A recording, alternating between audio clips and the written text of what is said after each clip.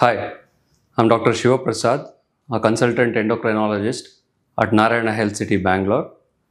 Today I'll be discussing about the role of diet in thyroid disorders. So when you get diagnosed with a thyroid disease, first thing you want to know is whether you have to take medications lifelong or is there any way to get out of it. So you start thinking about making changes to your diet and uh, taking supplements. So there are many websites, many social media posts, many people who give advice on diet and exercise to reverse thyroid disorders. So is there any role for uh, uh, diet and supplements in treating thyroid disorders? Uh, there is uh, no data to show that diet and uh, supplements can reverse thyroid conditions. So the most commonly asked question is about uh, vegetables like cabbage and cauliflower.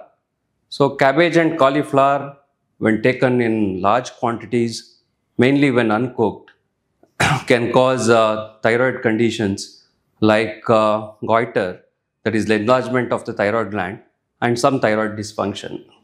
But when you consume it in uh, normal quantities, it has no effect on the thyroid condition. The second is the role of uh, diet supplements. So iodine and selenium are uh, micronutrients which are required for normal thyroid function.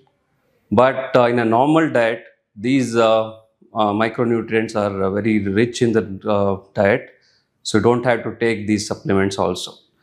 There are certain supplements like calcium and iron, which are used for other medical conditions.